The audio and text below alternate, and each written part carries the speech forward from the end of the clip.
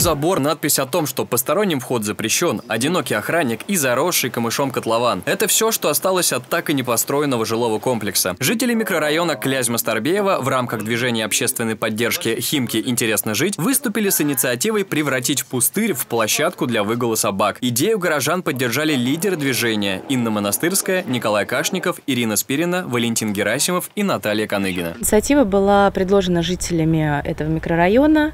Э, площадка необходимая. Эта инициатива была размещена на сайте э, «Химки интересно жить». За нее проголосовало много жителей. И вот сейчас мы как раз э, смотрели проект этой площадки, где она будет располагаться. Потребность в оборудованном месте для выгула домашних животных возникла давно. В районе улицы Кирова расположено несколько зеленых зон, где химчане выгуливают собак со всего района. Однако далеко не все владельцы убирают за своими питомцами. Много выгуливают, смотрите, вот здесь вот, если пройдете угу. по газону, что творится.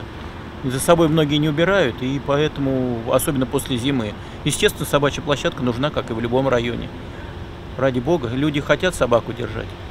Ну, только пускай культурно выгуливают. По словам представителей Химкинского комбината по благоустройству, это будет одна из самых больших площадок в городе. Эта площадка подразумевает размер 40 на 40, ограждение 2 метров согласно нормативов и наличие а, большинства необходимых малых архитектурных форм для дрессировки собак. Это горки, а, трамплины, лабиринты и многие другие. Приступить к работам по благоустройству этой территории планируется осенью.